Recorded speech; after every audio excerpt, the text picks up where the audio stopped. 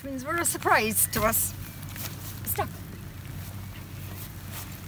The small fella was the first to be born and up fairly fast and the other fella followed. So we hand reared them as well as the mother feeding them. So he used to get more than this because this was the greedy guts. And we've showed them as foals and yearlings and two-year-old took them to some local shows and this fella uh, to Cork show this year.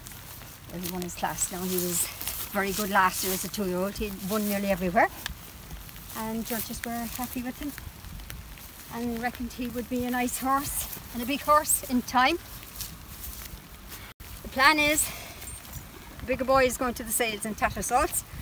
Small chap, I have him advertised to sell as a show jumper for some child or horse trials or flapping, whichever. And, and the mare herself now, The Kerry's mare? Kingdom.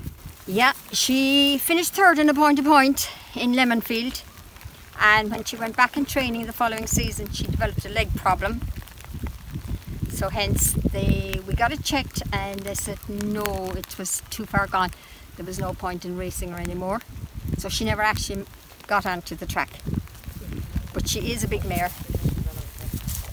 and she's got a, and all she's produced are all colts so she's got another one again this year by curtain time Sure. And she's back in fall at the moment. and she's back and forth, yes, to Pillar Carl.